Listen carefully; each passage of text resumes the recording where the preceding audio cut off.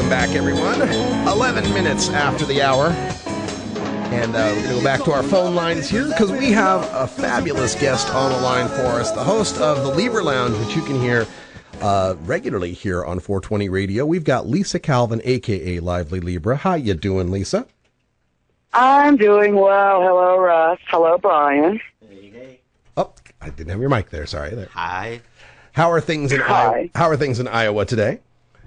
They're uh, very cold, actually. Cold, windy, icky, poopy. Cold, windy, icky, poopy. I got a great photo on the uh, screen, by the way, of uh, you and Cheryl Shuman and Sharon Ravert from the uh, Boston Freedom Rally. There's a there's a trio of Charlie's Angels of marijuana crime fighting right there.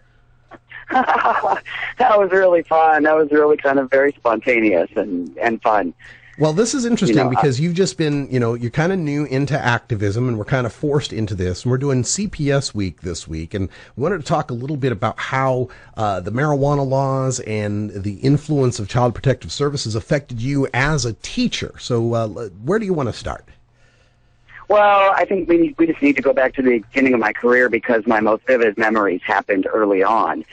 And what happened as a result of those encounters with CPS um, formed the way I, I, I dealt with it all in the, in the future. So, you know, I'm a new teacher, 1985, 86. Yeah, that's school year. 86. Yeah. And so I sub for a semester and then I get, I get hired on as a long-term sub in a middle school in a very poor neighborhood in uh, South Des Moines. And um, I am trained in um, all Iowa teachers. We have a mandatory child abuse reporting training that we have to go through, and it involves videos. It involve it used to involve vid- uh, videos and quizzes, and now it's all online.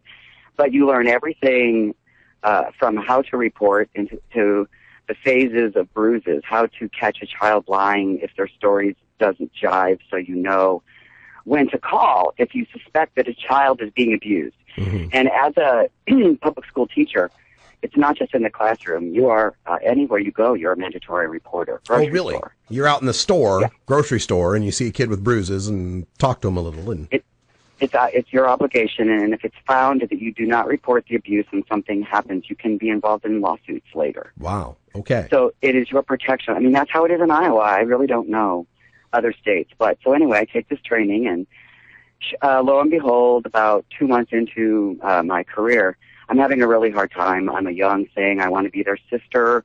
It's not working out. They're sixth graders, 35 of them in a classroom at one time, and eighth graders, and uh, so um, I I learned that I can't really be their sister, but I can't really be their mom. I don't know how to do that. I'm only 24 myself, and uh, 23. So they, uh, sure enough, I get close to kids because I learned that you know you get close to them one on one, and that seemed to work for me. And uh, a girl, young girl, very uh, small, uh, uh, uh, statured young girl, came up to me one day and pulled up her sleeves, and her arms were just completely full of bruises. And she was gaunt and hadn't it looked very hungry, and told me that she had been hurt at home. And I don't remember all the details. It was so long ago, but I called, you know, in my naivete, I called CPS and reported it like I was supposed to. And uh, the next day, the girl was not in school. Um, when she did return, she was more bruised, and in the meantime, I had heard back from CPS that the abuse was unfounded, and the girl no longer talked to me, would not make eye contact with me, Oh. and I became the problem. So uh, you set up yourself as a teacher to have kids trust you. If they're at home, that's one thing where the abuse happens. If there's true abuse happening at home, right? Then they- they're in school most of the rest of their life. And if uh, teachers are, are set up like this, because fast forward a few years, I'm, I'm I'm actually at the high school, which is what I wanted to be at, uh, teaching English in an at-risk program. And again, I get really close with the kids, and a a very um, large ninth grade boy. Uh, uh, I see a huge bruise uh, on him, and I ask him what happened. He's like, "Ah, my dad and I got into it." And he hit me with a flashlight, and he told me more than I wanted to know, but again, I decided to report it because there has been a history, of course. I mean, you don't just do these things in isolation. Mm-hmm. So I decided that it was okay to report, and the next day he came to school very mad at me. Um, I felt threatened by the child because his dad had had hauled ass on him that night because Child Protective had come. Uh, this was before I heard back from CPS. Again, it was unfounded, no abuse. And when I, I, I, you know, tried to tell what was going on, you know, it was, well, we're understaffed. We can't do anything. Even if we were founded, there would be no help for this boy. You know, and they say these things under their breath. And so the system was messed up back then. Mm-hmm. Um, I'm not, I'm not sure where they have extra time going after people like the stories we're hearing this week on your show, when the kids who are really getting abused cannot get help. And this is what's um, confusing me is that I keep hearing about the the financial incentives and the and the, the, way they get paid out through foster care and such and Charmy even saying that a, a white baby was worth sixty thousand dollars and so on. So wouldn't abused white baby be worth sixty thousand? I mean, how come this incentive is not working to protect the kids that are really getting hurt? And I can only imagine that maybe because the kids that are really getting hurt, there's too much hassle. They're too hard to deal with. They don't adopt out well. I, I can't. I can't understand this.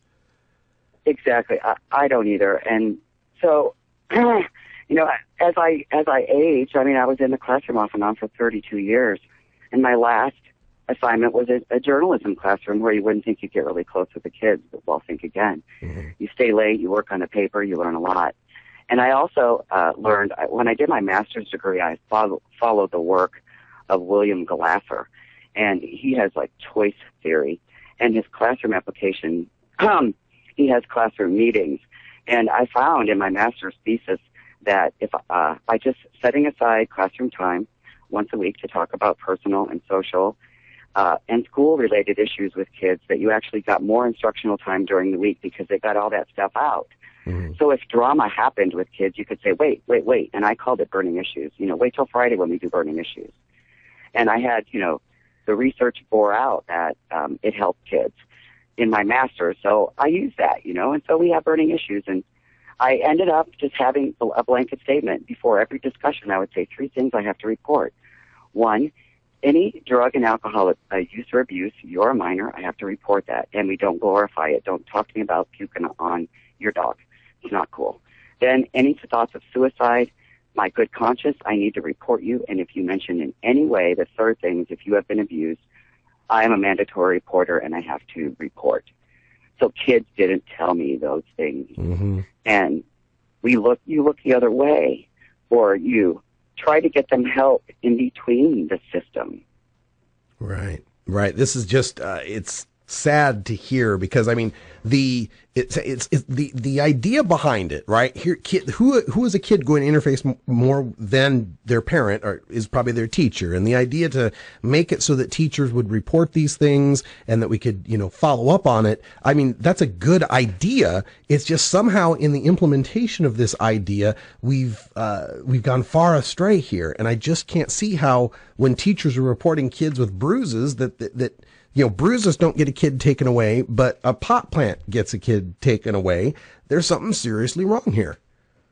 Exactly. And, you know, in all the training, they say, you know, your identity as a teacher will be protected and it's not because the kid tells one teacher they trust and then right. they show up. The kid knows who told. Right, exactly. And that just ruins the relationship with the teacher and makes them less trustful of not just the teacher, but other authority figures uh, in the future when they're in trouble, when they need uh, help, when they need assistance. And that just makes us a worse society overall. So it's just so sad. Ah, well, union rules declare that we have to take a break, and given the subject matter, I think a little bit of herbal relaxation might be appropriate. Lisa, you owe a lot. Sounds lovely. To Iowa pot. Oh, have you ever met that funny reefer man? A reefer man. Have you ever met that funny reefer man? A reefer man. If he said he swam to China, he would sell you South Carolina. Then you know you're talking to that reefer man.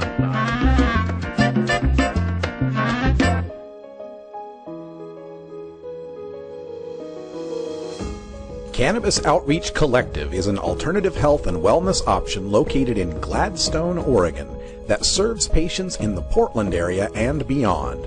We are a full service alternative health and wellness collective accommodating patients with natural, organic, holistic, and homeopathic remedies, nutritional guidance, advice, education, and medical cannabis fully in accordance with Oregon OMMP law.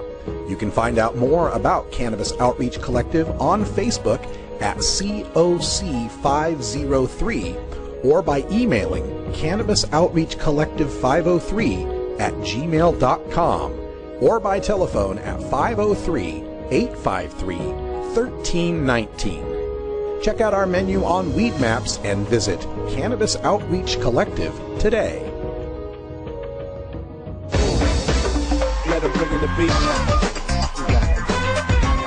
Adam Hand of Handmade Apparel produces quality custom designs for t-shirts, hats, and other apparel.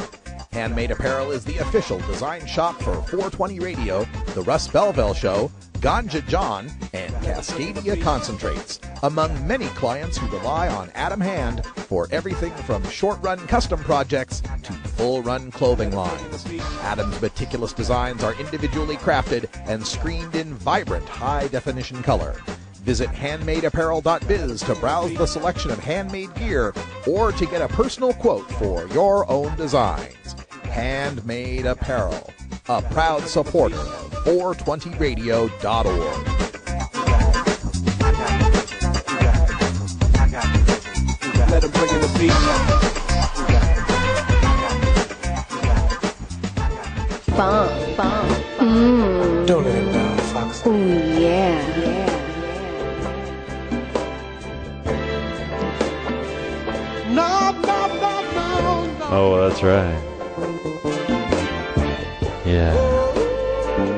Just like that, baby. Don't stop. Mmm. I like it. You like it, baby?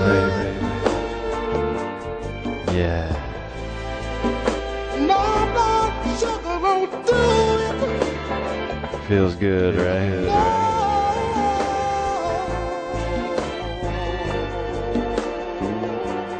Daddy thinks. Funky roller ring, roller ring, roller Don't let him down.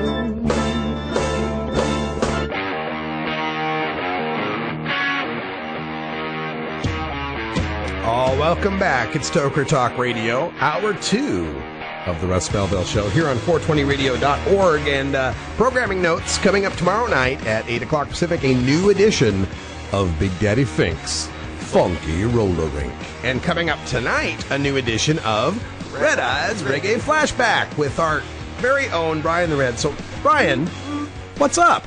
Oh man, just uh, looking through some my dad's old playlists and trying to put names to songs that uh, were on unmarked tapes. So Folks, eh, hold that up to the camera there. Yeah, here it is. This one here. This is real stuff from like the radio days, uh, handwritten ink. Progra- programming Program logs, logs. that had the uh, the show name, date, the artist, the title track, and the album sometimes, and the label.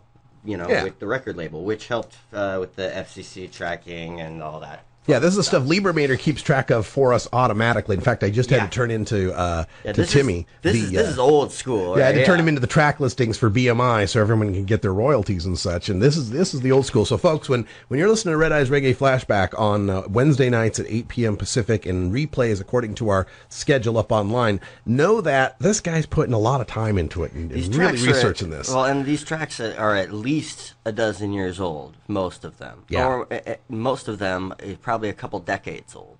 But you know, I uh, I love the music. I like the reggae, and I like to get the music out to the people. Right on, right on. All right, let's go back to our phone lines. We got uh, Lively Libra. Lisa Calvin is still standing by. How you doing? Pretty good.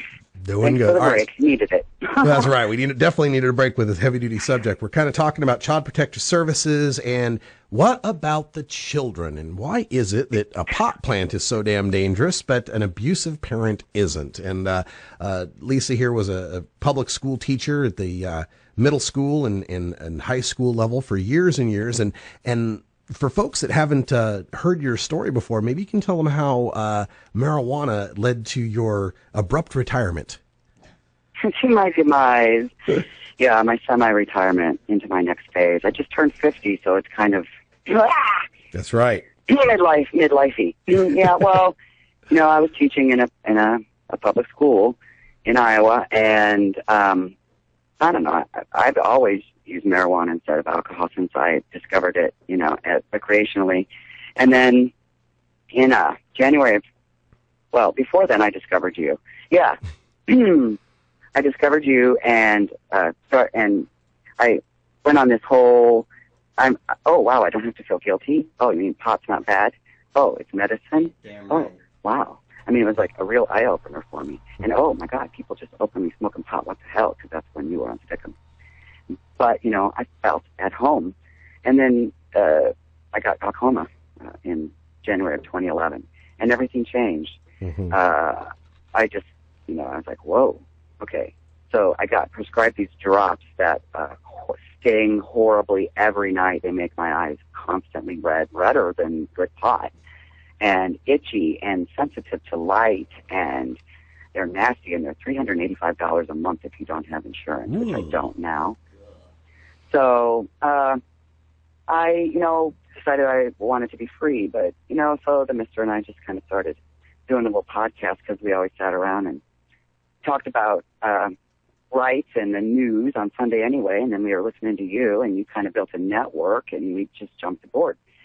And uh, I just tried to keep Lively Libra very separate from Lisa Calvin. You know, I mean, but it, everything is connected on the internet. And last year in uh, November, a student stumbled upon and found out my identity and turned it into a teacher who turned it into the principal. And I got called in and was told I was uh, uh, to meet. Uh, it was a Monday. I was to meet that Friday. I was to take everything down, and they were going to proceed with termination. So I got a union lawyer, and a long, long, sad story short is I had every right to fight them. It took six weeks of me teaching, not knowing what was going to happen the next day, not being able to say anything to the kids, to leave suddenly. And uh, we finally resolved it, and they offered me a severance package to leave. It's close to fifty thousand dollars between the insurance and the salary and the unemployment that they've paid me, just because they didn't want to be embarrassed if the public were to find out that I wanted to smoke pot for glaucoma or whatever. So the First Amendment lawyer and the union lawyers that I talked with uh, explained that I, I had every right to talk, but I have a family uh, uh, here, and I, I have a minor child, and I didn't want that to become public because I knew I would have to leave. But as a result, I still have to leave. So those plans are in progress because I've had so many people say, "Aren't you afraid the cops are going to show up?" And you know, I've had enough people say that to me that yeah, now I am. So we're making plans to get free, and because I can't be an activist here under these conditions, mm-hmm. especially with the stories you're running this week. Yeah, yeah. So you're hitting the Put it all Undergreen- together. You're hitting the Undergreen Railroad. Well, yeah, and you'll be one of the first to know when all the plans are in place. What? Where do you plan on? Any general ideas? A particular state? Well, yeah, I'm I'm really looking West Coast, Washington or Oregon, huh? Excellent. So I, yeah, I've really I've, I've narrowed that down. So it's just a matter of when and how and and uh, yeah. Well, I guess I owe an apology to the students in Iowa for uh, indirectly leading to the removal of one of their favorite teachers. I'm sure. Well, no, I don't think so because I feel more free than I ever did. I feel, you know, es- especially ever since Boston, I got to purge all of those demons that were brewing since my last day in the classroom, December 14th of last year. Finally, in September, I got to tell my story in a public way that was safe after all of the bribery money was gone. And I, I feel purged in a way Yeah. you know, and I feel I feel much better now. And so I I made the mistake of trying to have a double life, trying to be you know pot activist, lively Libra, and then be Lisa Calvin, unassuming public school teacher by day. Yeah, yeah. It's uh, you know, not as easy as Superman putting on the glasses and the suit, right? Right. Although I always did wear glasses and and very loose clothing. well, it's it's I, I love hearing this perspective because for me, I, I never tried to do that because I have a lousy poker face. I just knew from the beginning I'd never be able to pull it off. So uh, I was blogging about these kind of things when I was working, but it was I was always in IT, so it was never a, a question of you know oh corrupting influence on the children or anything like that. So eh, I just find Right. it, I find it so sad that you know for our public school teachers who are are the people that we want to get our kids thinking critically and being good citizens that we then punish them for thinking critically and being good citizens. Oh, exactly. and if you if you know anything about ALEC and the Common Core and what's going on in Iowa as a Common Core state, and the critical thinking is, isn't so much important anymore. Yeah. Well, that's a whole. that- anyway, that- there's um, a whole you know, other whole uh, rant on uh, on standardized testing and lack of critical thinking and and and you know our education system. People ask me sometimes like, why you know, gosh, alcohol prohibition only lasted 13 years, but you know, marijuana prohibitions last so long. What do you think? Why is that? And I, well, part of it is lack of education on the issue. You know, I mean, the alcohol pro back in the day, you know, kids in the in the 20s and 30s, you know, got a pretty strict education. They got a lot of information pumped at them, and these days it's all just test related and highly censored, if you ask me. It's bad. It, it's getting really bad. It's uh, yeah, it's time to get out. I'm I'm you know I'm kind of glad I'm not in that system right now because my skills weren't valued anymore, and and if, I don't want to be someplace that I'm not valued. Yeah. But you know how it kind of relates to the whole CPS thing is what my lawyer explained is that you know by me saying I want it legal for my medical use or for my recreational use at night, whatever, is that then giving kids permission to use it recreationally? Hmm. And it's a you know the bifurcation of rights. I love that word. Same thing with medical patients who are parents by simply using it is that somehow giving the kids permission? Well, we don't have that problem with alcohol. We allow that in the home. And we don't look at any social. I have not heard of any of these parents that they were called on the carpet because their marijuana caused them to somehow neglect their child. No, no, we don't get that. We get some uh, we get some alcoholic parents though that'll neglect a kid or abuse a kid. That's for sure. Oh my God. Yeah. And this That- is that's this way is more harmful. We know that. We know the social costs of alcohol abuse in the home are so much worse than anything. And, and the, the, the, the initial research coming out of these states is going to show that. You know, the usage with kids, kids are smoking less pot, but seniors are smoking more. Mm. Hallelujah. Yeah. And okay, so let's get this from you. Since you were dealing with kids over the past decade or longer, as marijuana has become more and more accepted, as there's become more and more medical states, uh, how did your kids' attitudes change toward pot? Did you find them knowing more, asking more, thinking differently about it? No, I well, well, yeah, I guess the the straight kids did, but there's always been a culture where we we uh, the people who smoke pot know it. We wink wink at each other. We don't talk about it. We hide, and we we deal with it that way. And uh, so those kids have always been there. They've always talked. They've always, you know, I don't know. It's all it, their attitude. They have always they've always known that pot's not the the dare shit that they've been told. They know we're lying to them about it. Kids are so much smarter than we give them credit for. I agree on that. On that, hundred percent. Did you Yeah. have uh, the Dare cops coming into your classrooms? yeah, no, that you know that happens in the elementary school. Oh, that's here. elementary, isn't it? That's right. Okay. So, well, Fifth and sixth grade usually. Yeah, and and uh, again, I I uh, well, I guess I applaud you for you know wanting to get out of Iowa, but I'm also sad that Iowa loses a great activist. Uh, but um, well, I can still do that. I can still do that, and I'm you know I'm making plans to keep, carry on with that. You know, I can visit and get the hell out. You know, I have an RV and that's right. Yeah. Well, we look forward to seeing you out here on the uh, West Coast, where you can enjoy your freedom. And uh, I think your activism has only just begun to bloom. You're going to be uh, doing a lot of public speaking in the future. I can I can sense that. Okay. Well, thank you for all you've done for me and continue to do, Russ. Because, uh, you know, unlike the rumors of you being a corporate shill, I know that, that you don't have a lot of resources and you've taken a lot of risks to do what you do and follow your heart, and I appreciate that. Yeah, yeah. I'm not against being a corporate shell. Uh, any corporations out there to be a want to throw me a few, a few, a few bucks, man, I'll shill. But uh, thank you very much, and uh, glad we could be on this journey together. And it was so fun uh, seeing you out there in the uh, great state of Massachusetts. We'll see you at the uh, next rally, I'm sure. Sounds good. And we run into each other at the strangest places. So Oh, yes, we do. So I've uh, got a special song on cue for you. This is uh, Napoleon the 14th. I owe a lot to Iowa Everybody, Pot. shut up! Oh, I owe a lot to Iowa pot. Iowa grown and grand. I never knew such beautiful boo. Grew in this groovy land I'm in, and I'm indebted indeed to wonderful weed. Iowa raised and born. Oh, I owe a lot to Iowa pot. and that's not just Iowa corn. Well, never cared much for domestic. I would always be turning it down. But I just smoked a joint so majestic, so fantastic. It's the best stick in town, and it blooms in this Midwestern section. And there isn't a glimmer of doubt it could shake a Jamaica connection, cause it's cheap, deep, and far bleeping out.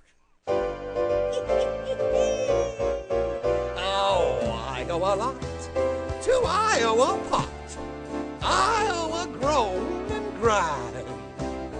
I never knew such beautiful food grew in this groovy land I'm in, and I'm indebted indeed to wonderful weed. Iowa raised and born. I a lot to Iowa pot, and that's not just Iowa corn. Contraband from the land cross of the border is El Ropo and risky to get.